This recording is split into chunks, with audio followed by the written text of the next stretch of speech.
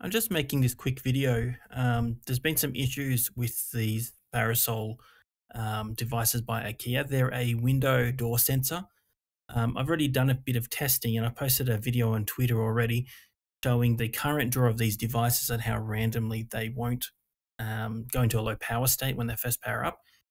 If you remove the battery and put it back in, or in my case, I'm using bench power supply where you actually stop and start the or the power, um, like turn it off and on um, it'll sometimes go into a low power state. It'll wake up, flash its little LED, and then go to sleep, as they should do. But more often than not, they don't. They actually stay there drawing about 17, 18 milliamp continuously, even though they're designed to be powered just off a single AAA battery. So there's a lot of debate and conversation that goes on um, in groups about these devices and other IKEA devices, stating that you must use the IKEA rechargeable batteries and that the alkalines at 1.5 volt is too high and they don't work properly. Well, I'm here to dispute that. I'm sure a lot of my followers will know that that's garbage information to begin with because they know a bit of electronics. But um, for those that don't, let me explain what's going on here. So this is these are the guts of the device. And if we have a look closely here, I'll show you the rest of this setup in a second. But if we have a look closely here, there are three components here, main ones, but there's a couple of node. This one here, if it'll focus on the circuit board, sorry, hold on. This guy here is an inductor, and this will be a MOSFET. This is probably another MOSFET, but it might be a diode. It's hard to tell at this size. There's probably a diode on here somewhere, but these, these few components just here form what's called a buck boost DC to DC power supply. What this is doing is converting the 1.5 volt input from the battery to the voltage that we need for the microcontroller to operate. That graph you see running on the screen is live. We're measuring the battery voltage that I'm providing from the benchtop power supply, which at the moment is set to 1.5 volt. Oh, sorry, it's not even 1.5 volt. It's actually set to 0.6 volt. Um, and you can see that the power supply on the little board is stepping that up because I'm measuring that that second brown line is connected to the VCC line, the output of that buck boost where it feeds the microcontroller, it's outputting 2.2 volt. If it mattered your battery type, what you put in, as they went flat, the microcontroller would stop working. So let's push that voltage up.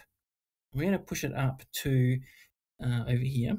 I'm going to push the voltage up to 1.5 volts slowly, as slow as I can on this little knob. It's a bit dinky and hard to control, but let's see how we go.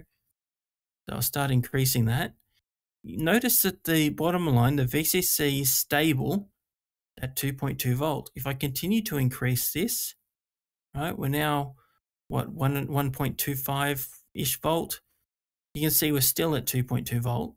If we continue to increase that to what a fully charged alkaline is at 1.5 volt, we're still sitting at 2.2 volt there's a bit of noise there as it increases. If we continue to increase the voltage beyond the specification of 1.5 up to 1.6 or even 2, that gets worse. But it's still not enough to cause the microcontroller to have problems or reset or do anything weird. If it did, we would see the LED on the front of the device continually flash as it went through reboot loops as it reset itself. It's pretty pretty hard to say that using a 1.2 volt battery versus a 1.5 volt battery makes a difference here. I believe this is IKEA support staff, perhaps uh, uneducated or repeating nonsense that they've learned from someone else. Because what we've found through testing of these is if you power them up sometimes, they'll power up properly and just work and go to sleep properly. But other times they'll power up and just continually pull 17, 18 milliamp, which will flatten the battery in about oh, let, let's say it's a double A. Double A is a three a three amp hour, so three thousand milliamp hour. A three thousand milliamp hour that'll flatten it in about 150 hours. These are triple A's, so it's going to be way less than that. Um, clearly, it's not drawing that all the time because you're getting a couple weeks out of them. Um, but it's way more than it should be. When they operate properly, though, they drop down to only drawing a few microamps. That will last six, eight, 12 months, maybe even there's a fault in the firmware in these devices that's stopping them going to sleep. And IKEA need to fix this. It's got nothing to do with the type of battery you put in an alkaline or rechargeable. Doesn't matter what brand, they all output the same voltages between 1.5, like fully charged, uh, 1.2 fully charged for a rechargeable, and they all go flat the same way. They all go through this discharge curve, which is why that circuit needs to be in there to deal with batteries as they go flat. Because if you stop using the power in the battery uh, early because it dropped below 1.2 volt, you would be leaving a lot of capacity in the battery and you'd get almost no life out of them.